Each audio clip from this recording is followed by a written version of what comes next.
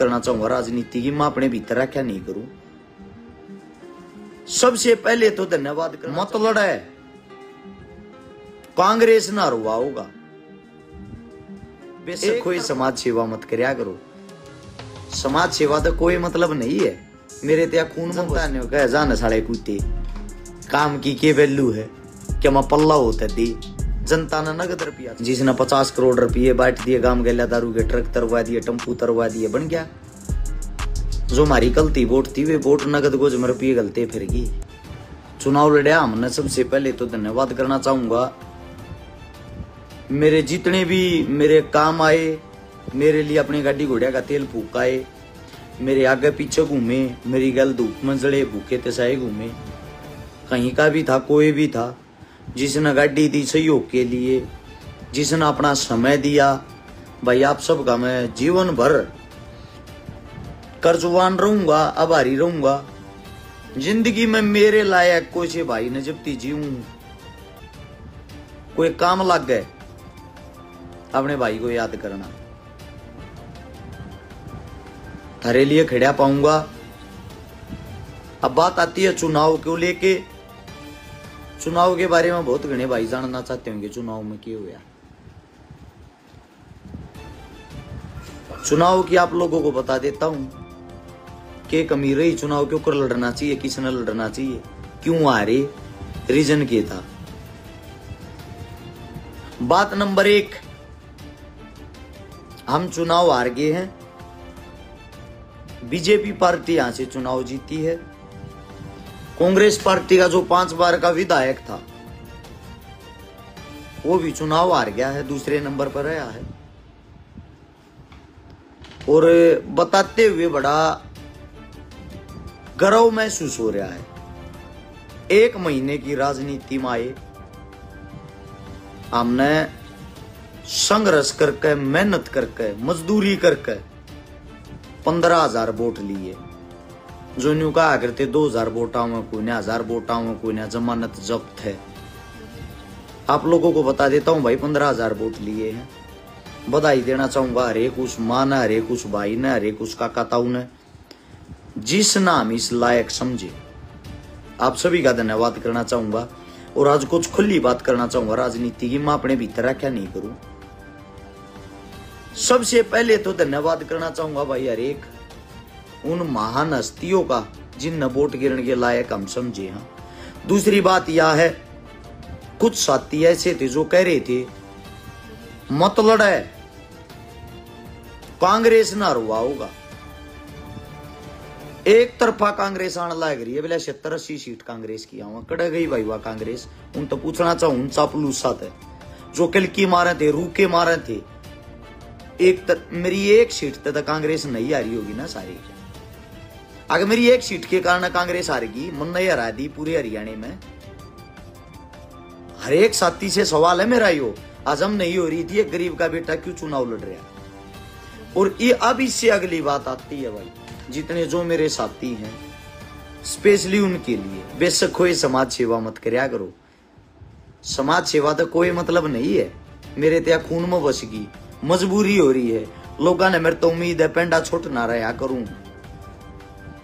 लेकिन समाज सेवी साफ़ छवि का अच्छे काम करने या राजनीति में कामयाब नहीं है। मैंने मेरी आख्या देखा है, मेरे काना सुनया है, मैंने महसूस कराया खुद। मैं भी चुनाव जीत जाता, बड़ी चीज़ नहीं थी, सिर्फ़ कमी एक थी। जितने मेरे दो रुपये थे, जितने मैंने लोग बहुत आरे मांगे। वे रुपये ठा ठूक है मैंने सोची साफ़ सुथरा चुनाव लड़ांगे। दारू के मैं सख्त खिलाफ हूँ, दारू मैं नहीं पाऊँगा दारू वाली वोट मैंने चाहती नहीं। मेरे काम के नाम पर वोट मांगूँगा। जनता ने कहा, जाने साढ़े कुत्ते, काम की के वैल्यू है? क्या मैं पल्ला होता दी? जनता ने नगद रुपया चाहिए था। कुछ हकीकत बताता हूँ, हर चीज़ के सबूत हैं। कितने के वोट आई है, क्या रीजन रहा? वोट दिए मेरे भाईचारे ने, जो पंद्रह हज़ार वोट आई है तकरीबन, मेरे भाईचारे ने दी है मेरा अपना जो जिन हम अपने मान्या करता, किस किस के नाम लो उनकी कोई वोट नहीं आई किसी की भी। मेरे अपने दलित समाज तो बहुत घनी उम्मीद थी, न्यू मैंने यार आधी रात में काम आया हूँ। कम काम आए हाँ साफ़ सुथरा कहना है गोज पिया था वोट से ना ना है। महसूस करी है, देखी ये चीज़। मेरे अपने और भी बहुत गणे जो करे अपने मुस्लिम भाई देख लियो। मेरे जो गोहाना के अंदर थे। कोई वोट नहीं। मतलब दस प्रतिशत वोट भी नहीं, दस प्रतिशत टोटली मेरे अपने जो साथी मेरे अपने जो जाट भाई जितने वे एक भावना में बह रहे थे। कांग्रेस ना रुआ होगा। मनवेद अपना कितने कितने दुश्मन मांग रहे थे। उन मगर नब्बे प्रतिशत आदमी। दस प्रतिशत आदमी ने साथ भी दी और वोट भी दी। भलाओ भाई उनका। लेकिन दुख एक बात का है, पहली रात ने गामा में जब घूमे, पहली रात ने चुनाव रात ने खत्म हो लिया था। जिसने पचास करोड़ रुपये बांट दिए, गाँव गैला दारू के ट्रक तरवा दिए टम्पू तरवा दिए, बन गया। जो हमारी गलती वोट थी, वे वोट नगद गोज में रुपये गलते फिर गई। उन्होंने एक चीज़ साबित कर दी, बाप बड़ा ना भैया, सबसे बड़ा रुपया। कहने का तात्पर्य ये है, कोई समाज सेवी बनने की ज़रूरत नहीं है।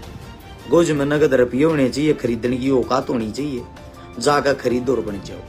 यह राजनीति की असलियत है। यह राजनीति की असलियत हमारे शामिल आई है। न्यू बेरा पट्या है, डॉक्टर साहब जी, जड़े दशा उड़े थे क्यों बन जा उसका रीजन यो दूसरी बात, जिन गयो बहम था अगर मैं तो कांग्रेस वाले ना रुवानती खड़ा हूँ। या कांग्रेस मन ना रुवाई भाई, सारी सीटा पर। या कांग्रेस की जो कल थी सरकार बने थी, और आज बीजेपी की बन गई, मेरी एक सीट ना बनी भाई। यो आप लोगों का बैम है बैम है। जाट, नॉन जाट, इससे बाहर दुनिया ना तो पहले लगड़ पाई थी, ना आज लगड़ पाई है। हमने जाति के नाम पर चुनाव नहीं लड़ा जाति के नाम पर वोट नहीं मांगे, ना मांगा, लेकिन एक बहुत बड़ा सबक मिला है। बीस तीस करोड़ रुपए पहले रात ने नगद बांटो, गाँव गैला दारू के ट्रक तरवाओ, किसी ने विकास नहीं चाहता, किसी ने काम नहीं चाहता, किसी ने तुम्हारी समाज सेवा तो कोई लेना देना नहीं, तुम कितने अच्छे, कितनी इज़्ज़त का टोकरा अपने सिर पर धरे रखो, किसी ने कोई मतलब नहीं। मतलब है तो सिर्फ़ एक बात का उसने वोट के दो हज़ार लाए हैं, तूने बता तेरी औकात की है। तू ढाई दे सकता हो तो ठीक, ना तो मक जाडे कोई वोट नहीं। ऐसे ऐसे आदमी जिनका आप जीवन में मुँह देखना पसंद नहीं करते होगे, जो मतलब इतने बड़े जात पात के भरेड़ इतने बड़े नशेड़ी, वे आदमी भी इस टाइम पे अपनी औकात बताते हैं। राजनीति का सतर सोनीपत के अंदर तो ऐसा गिर रहा था, अगर आपके पास पंद्रह वोट्स हैं। सोनीपत की बात कर रहा हूँ, सोनीपत विधानसभा की। आपके पास पंद्रह वोट है तो पंद्रह वोटा पर स्कूटी ले जाओ। औरत की एक वोट है, जो सा सूट जी करे। आदमी की एक वोट है, पेंट शर्ट। और जिसकी पचास वोट है, जो मर्ज़ी ले लो, पचास वोट की, या औकात है। किससे न मतलब नहीं आप काम करते हुए, यानी कहने का मतलब एक है, अमीर आदमी कोई चुनाव लड़ सकता है तो लड़ सकता है, गरीब आदमी चुनाव नहीं लड़ सकता। और जमीर बेच का अमीर होना रश्य कारण नहीं आता।